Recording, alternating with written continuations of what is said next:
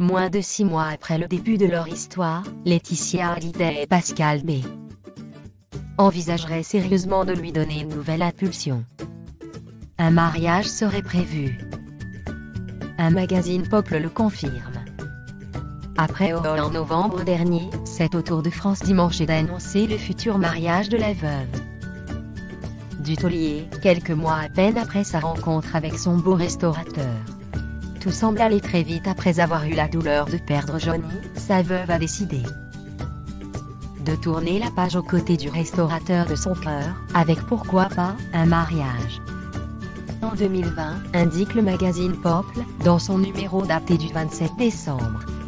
De belles photos de la petite famille ont été dévoilées. Pascal B aurait demandé sa belle en mariage début décembre lors de son passage à Paris pour superviser le concert en hommage au taulier à l'Olympia. Et la ravissante blonde, très émue, aurait éclaté en sanglots émus. Laetitia aurait éclaté en sanglots avant de répondre par un grand oui, affirme l'hebdomadaire. Laetitia Hallyday lui aurait ensuite avoué qu'elle rêvait d'une petite cérémonie à Saint-Barth, là où ils s'étaient connus en juillet dernier.